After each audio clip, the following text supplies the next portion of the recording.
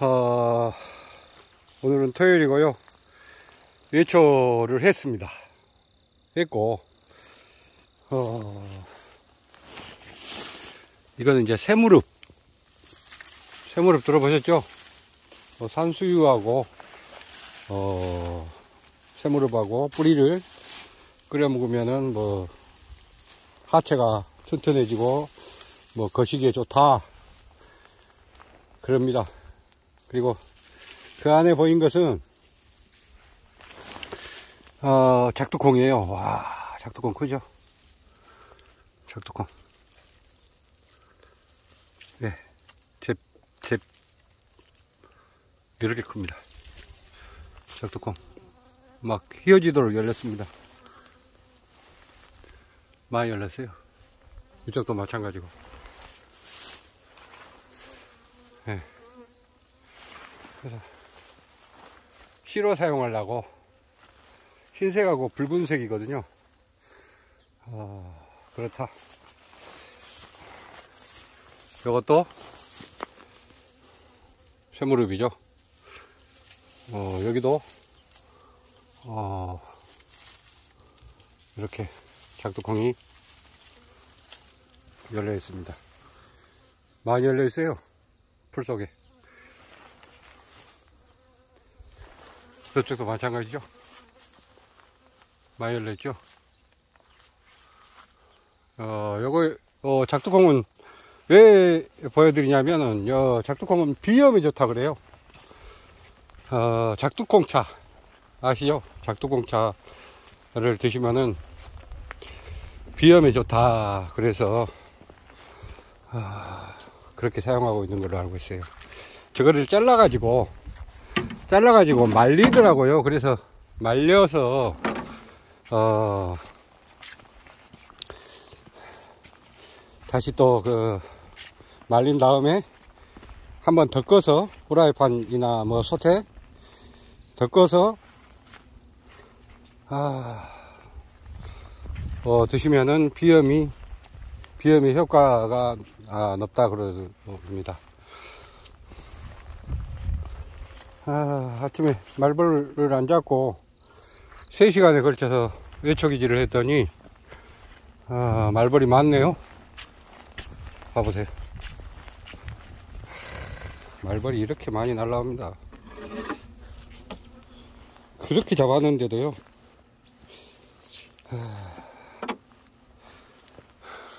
아, 조금 이따 잡고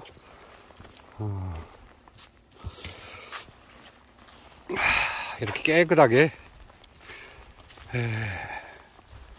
됐습니다. 여기까지 차가 올라와요. 나중에 트럭 가지고 어 오셔가지고 뭐 분양 분양하시거나 이렇게 또 뭐 어쨌든 간에 트럭 오신다 그러면 여기까지 올라올 수가 있습니다. 그래서 겸사겸사 풀을 뱉다. 아...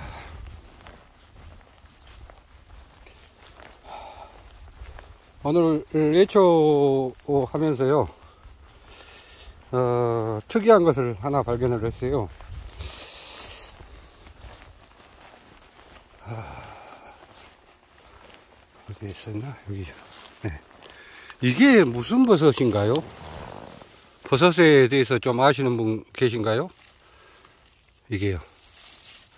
나무에서 이렇게 에, 자라고 있습니다 나무 그 죽은 나무요? 어, 상당히 많아요. 이렇게요. 쭉. 이게 뭐 식용인지 아니면은 어 식용이 아닌지 그 다음 무슨 버섯인지. 음, 저 우쪽에도 나무 쓰러진 나무에 이게 있더라고요. 그래서 버섯이 있더라. 여기도 쇠무릎이 있다 그 다음에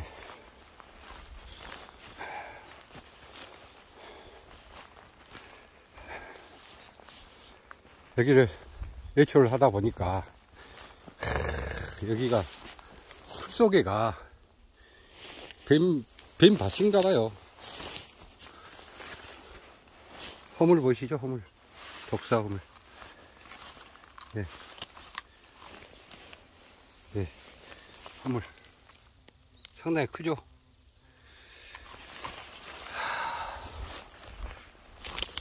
그렇다.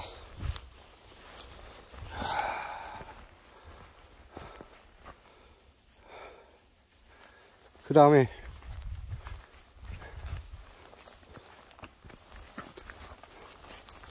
에, 자이언트 호박을 어느 정도 컸나 하고 예초기로 어, 한번 쳐봤어요. 그랬더니 이 작물 재배를 제가 잘 못하는 것은 아니고 아, 역시 풀이 덮어버리니까 아, 호박잎이 이 햇빛에 받지도 못하고 그래서 지금 현재 저 상태입니다. 음, 저 정도 크기면은 한 음, 10kg에서 뭐 15kg 그 전후일 것 같습니다. 어, 앞전보다는 많이 큰 것 같아요. 그래서 한번 예초 하다가 예초가 잘 안 돼서 하다가 기름도 떨어지고 해서 중단을 했습니다. 아, 이쪽에도 뱀 허물이 하나 있더라고요.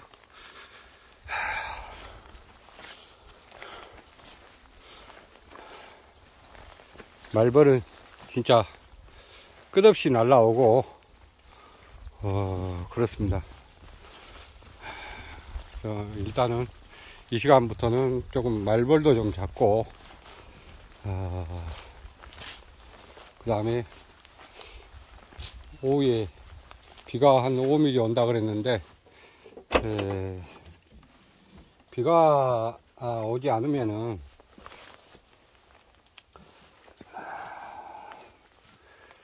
비가 오지 않으면은 어, 이제 중간 점검을 한번 해봐야죠. 어, 월동 사양하고 어, 저기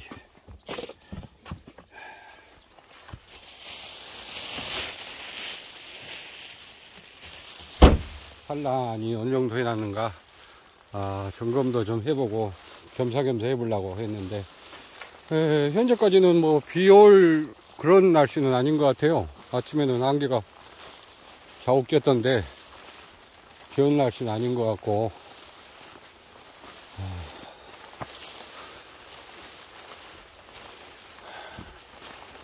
이렇게 한 바퀴 돌아서 어, 외초를 1차적으로 했습니다. 어, 내일이나 모레 또 한번 해야죠. 쉬었다가 아, 조금 힘들어서 쉬었다가 아, 말벌도 좀 잡고 아, 점검을 한번 해보겠습니다. 말벌이 한 3, 40마리, 50마리 보인 것 같아요. 일단 다 때려잡고, 어, 다음 일을 해야죠. 아, 또 중간 내검 점검을 할 때 다시 또 한번 동상을 찍어 드리도록 하겠습니다. 아, 시청해 주셔서 감사합니다. 오늘은 어, 여기까지 하겠습니다.